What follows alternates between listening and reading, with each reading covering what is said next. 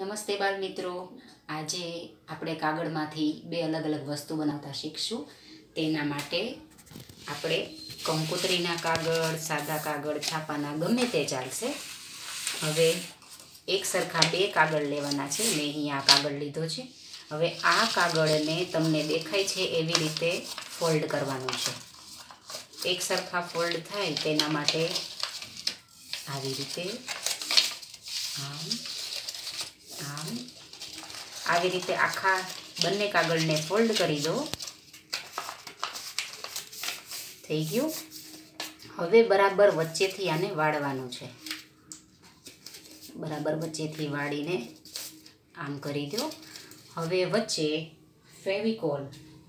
અહીંયા ફેવિકોલ લગાવવાનું છે અને આ બંનેને ચોંટાડી દો. એટલે થોડી વાર પકડી રાખશો એટલે સરસ મજાનું ચોંટી જશે. આમાંથી જો તમારે કંઈ દોરવું હોય, તો કલરથી તમે દોરી પણ શકો, કટિંગ કરવું હોય કાતરથી, તો કટિંગ પણ કરી શકો. જે આપણી પાસે બે નમૂના તૈયાર છે આ. આમાં મેં સ્કેચ પેનથી દોરેલું છે અને અહીં ક્રોસ કટિંગ કરેલું છે. હવે આપણે નીચેના ભાગમાં ગુલ્ફીની સળી ચોંટાડેલી છે. હવે જો આ બે ભાગ નીચે બે સળી, હવે ઉપરના ભાગ છે એને આપણે ચોંટાડી દેશું.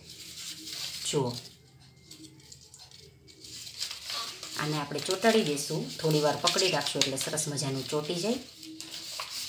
હવે જુઓ, આમ છે. હવે આ આપણો પંખો તૈયાર. થઈ ગયો ને સરસ મજાનો પંખો. હવે આમાંથી આપણે કળા કરતો મોર પણ બનાવી શકીએ. તેના માટે બીજો એક કાગળ લો એના ઉપર મોર બનાવો. મોર આપણે નાનો અને અડધો જ બનાવવાનો છે. બીજા કાગળમાંથી ચાંચ અને એની કલગી કરો, સરસ મજાની આંખ કરો. પછી આને કટિંગ કરી નાખો. આને કટ કરશો. મેં અહીં એક મોર તૈયાર કરેલો છે. હવે આ મોર છે, એને આ પંખો બનાવ્યો છે, એમાંથી આપણે અહીં વચ્ચે ચોંટાડી દઈશું. બંને બાજુ ફેવિકોલ લગાવીને અહીં વચ્ચે આપણે ચોંટાડી દઈશું એને. થોડી વાર પકડી રાખો એટલે એકદમ સરસ મજાનું ચોંટી જશે. હવે જુઓ મિત્રો,